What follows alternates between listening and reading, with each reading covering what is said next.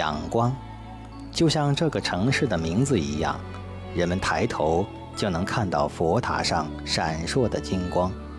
我们木林摄影队走进缅甸首都仰光时，正是八月的雨季，几乎每天都有一场阵雨光临这座城市。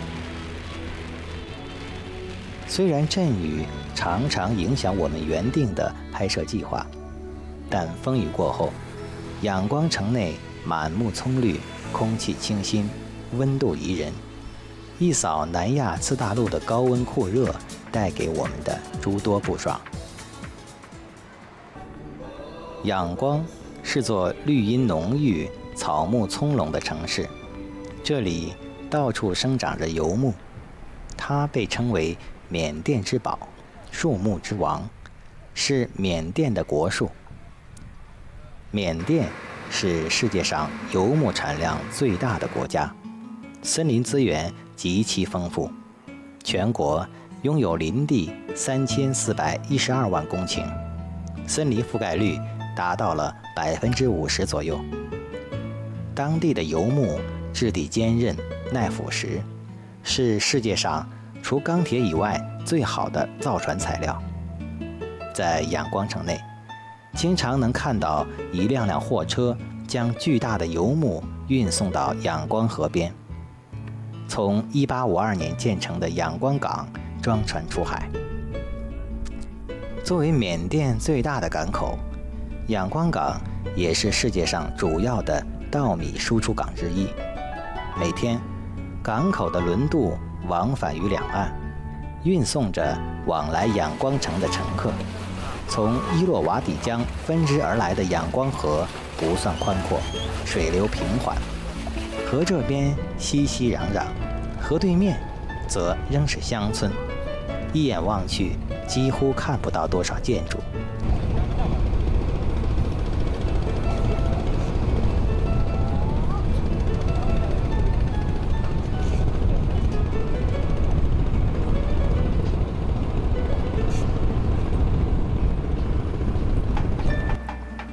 男人穿裙子，女人剃光头，是仰光城内引人注目的一大景观。在缅甸，男人穿的裙子叫做龙起或沙龙，女人剃光头则是因为他们是尼姑。在缅甸五千三百多万人口中，百分之八十五以上的人信奉佛教。在这个著名的佛教之国。每个人在生命中的任何一段时期内，必须削发为僧或为尼，时间最短几天，最长则一生，否则他们就会受到社会的蔑视。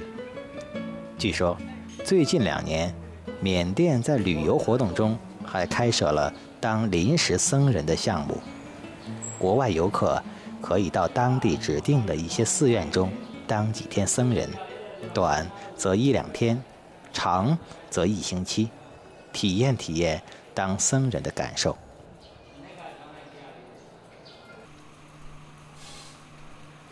每天天没亮，缅甸寺院中的和尚或尼姑就会早早起床，穿好袈裟，赤脚出门，手托大大的瓦钵，列队排好，前往一些大户人家化缘。这些人家。也会早早起床，用大锅熬好稀饭，等着僧人们前来化缘。僧人们光脚走过大街小巷，悄声无息，不会惊动那些依然沉睡的人们。不管酷暑严寒，仰光城内都能见到这些清早列队化缘的僧人。他们就像按时上学的学生一样，化完缘后。准时回到寺院，然后整齐地坐在斋堂中，一起吃完斋饭，接着开始每天一成不变的诵经。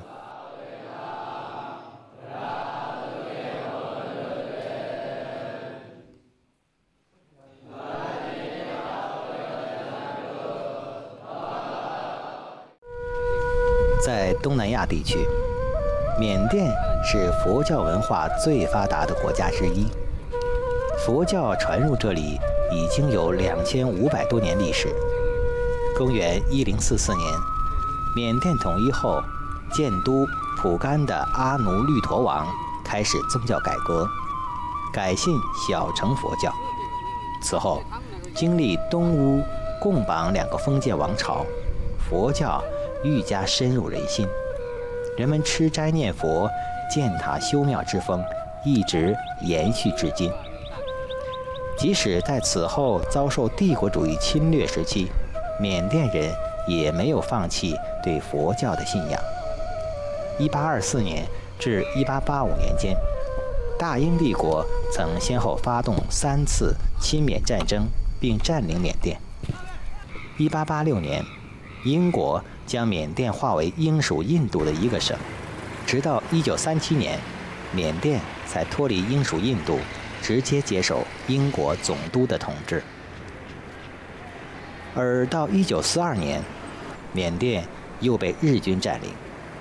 1945年，缅甸光复后，英国再度控制缅甸。1947年10月，英国被迫公布缅甸独立法案。次年1月4日，缅甸脱离英联邦，宣布独立，正式建立缅甸联邦。一九七四年一月，改称为缅甸联邦社会主义共和国。一九八八年九月二十三日，再度改称缅甸联邦。在如此错综复杂的历史时期中，佛教对缅甸文化艺术和当地人民的生活一直产生着深刻广泛的影响。全民信佛的传统使缅甸人人自律。普遍向善，当地偷盗、抢劫案极少发生，整个社会堪称路不拾遗、夜不闭户。当地人不无夸口地说：“即使半夜拿着一箱子美元走在阳光的大街上，也不会有人来抢你的东西。”民风淳朴，可见一斑。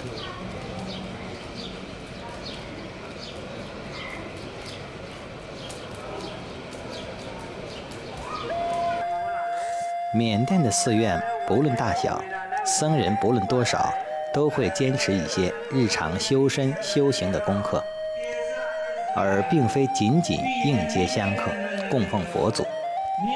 在仰光一所著名的佛学院内，佛学大师的弘法讲座总是能吸引众多的信徒，人们虔诚地席地而坐，神态专注，认真听讲。试图从深入浅出的佛法中感悟生命的意义和生存的要义。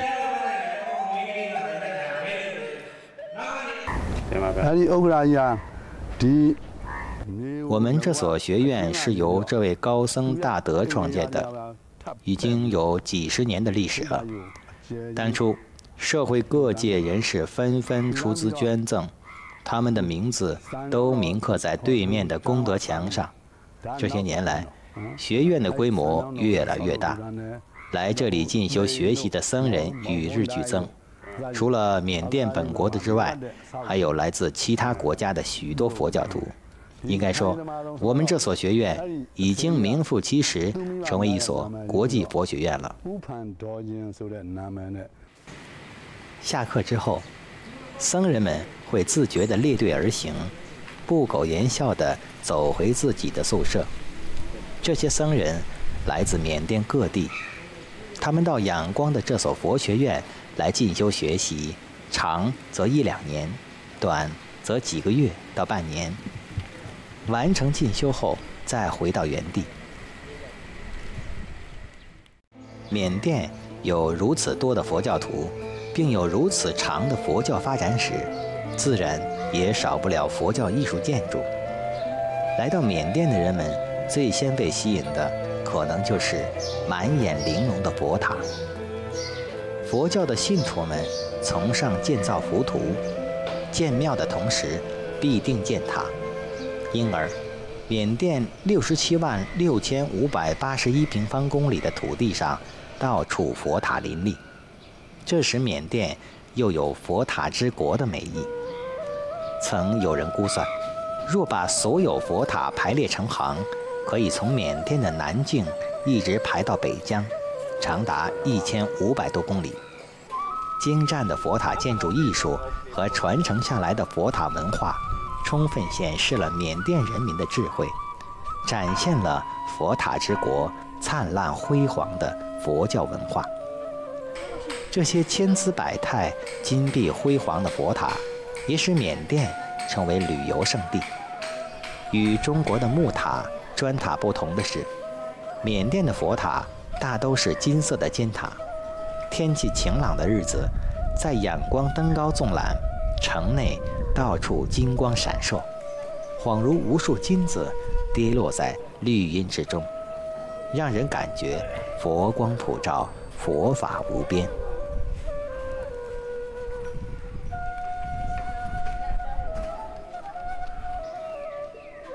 到仰光的人，没有不去瑞光大金塔看看的。大金塔。气宇轩昂地耸立在仰光的制高点——新固德拉山岗上。缅甸人把它奉为佛教圣地，视为民族的骄傲。这座大金塔与印度尼西亚的波罗浮屠塔、柬埔寨的吴哥窟齐名，是闻名世界的东方圣迹之一。它的历史比仰光城更为悠久。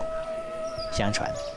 在公元前五世纪，缅甸商人科加达普陀兄弟从印度带回释迦牟尼的八根佛发，献给缅王奥加拉巴。缅王便下令在仰光河边的渔村建塔珍藏佛发。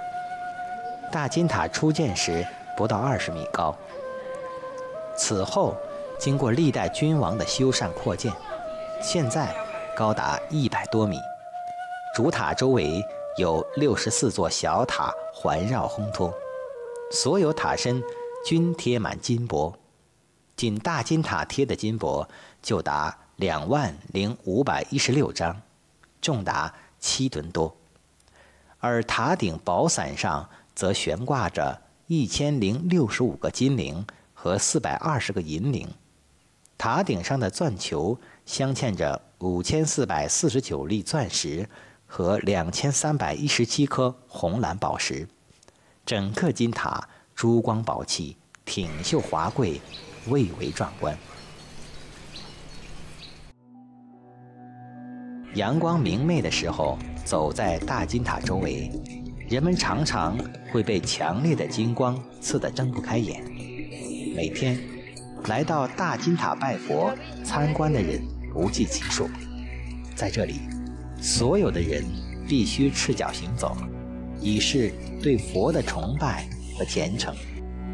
缅甸人把瑞光大金塔视为圣地，引以为豪。经历两千五百多年风雨沧桑之后，瑞光大金塔更加金碧辉煌、气宇轩昂，如梦如幻。缅甸之所以建有这么多的佛塔，一种说法是为了恭迎佛法，另一种说法则是为供奉佛陀的遗物。其实，后来的佛塔大多是平民所建，在当地佛教徒的信念中，他们认为建佛塔可以造福终生、修福来生，因此，人们一旦积存点钱，就大多花在建塔拜佛上。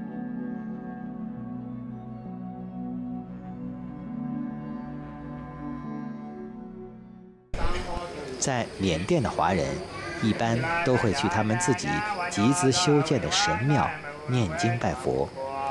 仰光港附近华人街中的庆福宫，便是一百多年前由来自福建的华人修建的。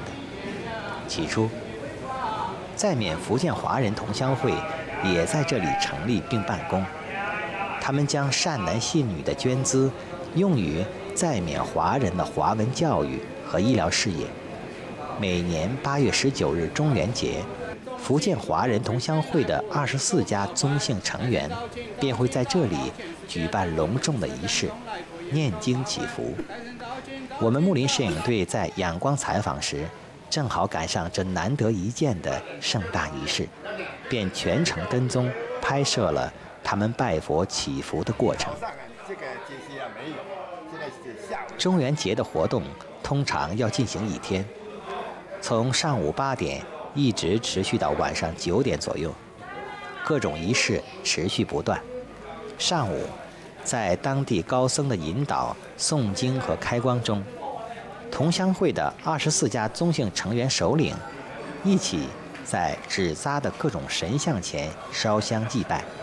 并绕庆福宫的里里外外行走一圈。接下来，当地华人信徒络绎不绝地前来，虔诚地进宫内烧香拜佛、捐香火钱。到傍晚五点多钟开始，几位高僧在庆福宫正门内继续诵经。同乡会的宗姓成员首领依然围绕庆福宫内外行走一圈。在堆满各种丰盛祭品的神像前，最后祭拜。整个活动的高潮出现在祭拜仪式结束之后，人们收拾好那些丰盛的祭品，将纸扎的各种神像抬到庆福宫门前的广场上，逐一将它们在大火中烧掉。而同乡会的宗姓成员首领，则带领大家围绕着火堆一起行走祈福。当晚的仪式正赶上瓢泼大雨倾盆而下，而这些丝毫没有影响人们的兴致。大家举着雨伞，兴致勃勃地参与到仪式中。从这隆重的拜佛祈福仪式中，人们不难看到当地华人对中华传统文化的留恋和维护。福建同乡会的华人首领告诉我们。这种仪式以前更为隆重。每当举办拜佛仪式时，整个庆福宫内外人山人海，活动程序与内容也更多。而现在，这样的活动规模已经大大缩小。在缅甸这样一个佛教氛围浓郁的国度，任何人都会被深深感染。他们不一定在佛塔前顶礼膜拜。但一定会在心中暗暗许愿或祈求，希望也能拥有一份与佛结下的善缘。